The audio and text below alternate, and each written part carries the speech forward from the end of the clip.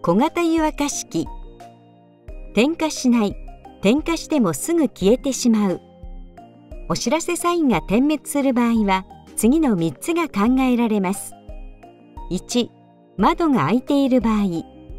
2換気扇が回っていない場合。3ノズル掃除不足の場合。これから3つの原因につきましてご説明いたします。1窓が開いている場合外からの風の吹き込みで炎が揺らいだことで消火する場合があります。湯沸かし器をご使用中に開けている窓から風が吹き込み炎が揺れると安全装置が作動します。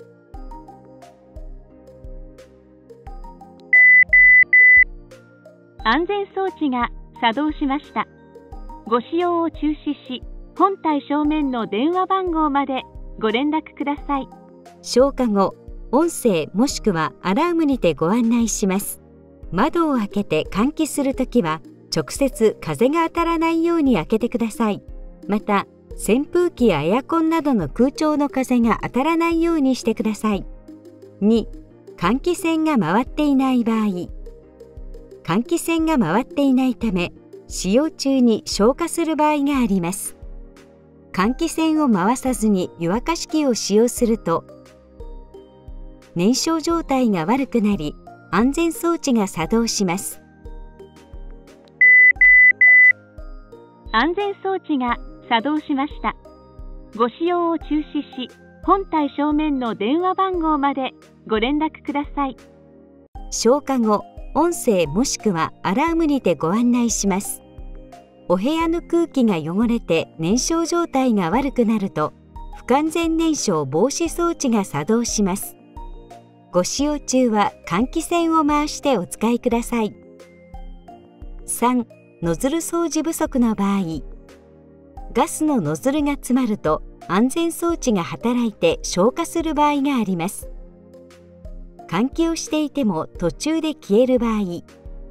ガスのノズルが詰まっている可能性があります。ノズルのお手入れ方法をご案内いたします。ノズルの掃除方法をご案内いたします。ガス栓給水元栓を閉めます。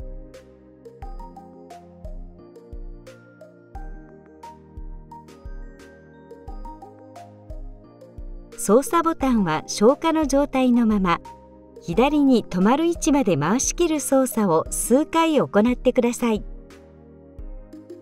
この操作によりガスのノズル部分を清掃することができます。ノズル掃除後は操作ボタンを低温に戻しガス栓給水元栓を開け点火操作し正常に燃焼することを確かめてください。またノズル掃除は月に2から3回実施してください。治らない、該当しない場合はこちらまでお電話ください。